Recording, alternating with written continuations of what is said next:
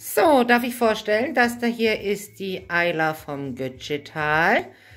Sie ist heute hier zum Friseurtermin. Wie man sieht, der Hund hat es bitter, bitter nötig, aber draußen ist es kalt. Deswegen sind wir heute mal bei mir im Wohnzimmer und wir schauen jetzt einfach mal, was wir aus diesem Hund Schönes basteln.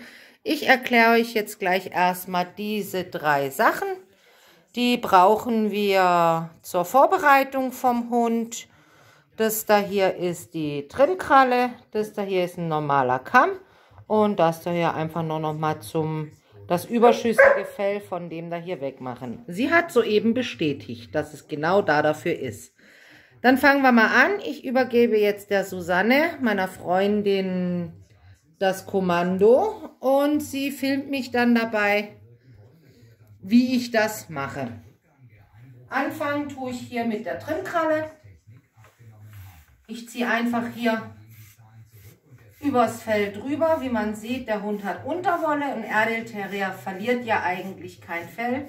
Wenn er anfängt, Fell zu verlieren, hat er einfach zu viel Unterwolle drauf.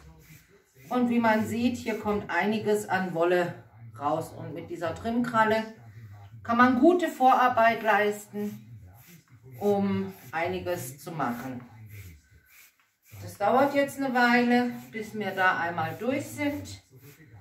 Damit tue ich jetzt alles, was schwarz ist, bearbeiten. Immer Stück für Stück, von oben nach unten.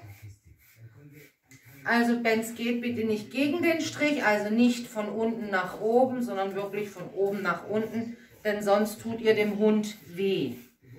Und weh machen wollen wir ja dem Hund nicht. Der Hund soll ja eigentlich ganz angenehm äh, massiert werden.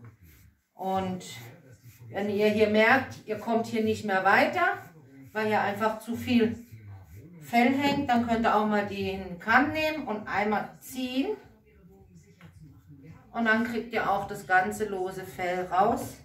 Und wie ihr seht, der Hund ist so gemüllt, aber deswegen geht man ja zum Friseur oder man macht es selbst.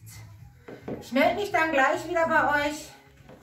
Ich mache erstmal soweit weiter. Wenn ich dann an dieses hier gehe oder an dieses hier gehe, melde ich mich dann gleich wieder bei euch.